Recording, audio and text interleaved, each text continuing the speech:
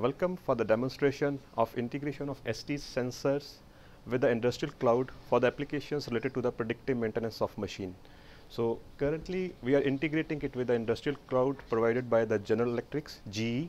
The cloud is called the Predix cloud and what we are showing here is emulating the scenarios for the devices in the real life on the machines. So this is a board here on which we have all the ST sensors, for example, the accelerometer, gyroscope, pressure sensor, temperature, humidity.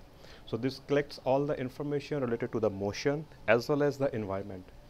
Apart from that, it also collects information related to certain key events. So we, for example, we have tried to emulate here the scenario that if there is a tilt in the machine or if there is a free fall of the machine, so the sensor will detect that event, will gather all the corresponding data around it, which is the raw data, package it and send it to the uh, to the Predix cloud. Currently, uh, we are using Sigfox as the media to send the, the data to the Predix, but it can be any media as the sensors are essentially agnostic of the media of transmission. So as you can see, as, as I move the board, you, the data is collected and the event is sent to the Predix. So you can see a wake up event happened here. And then corresponding to that, at that point, what was the temperature, what was the humidity, and all the raw data which corresponding to the acceleration at that point of time.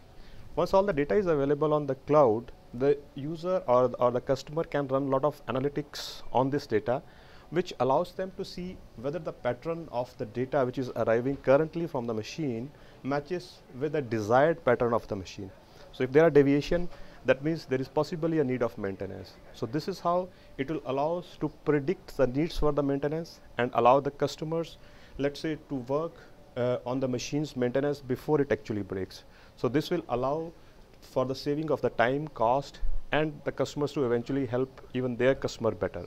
So that, that essentially is the summary of the demonstration. Thank you.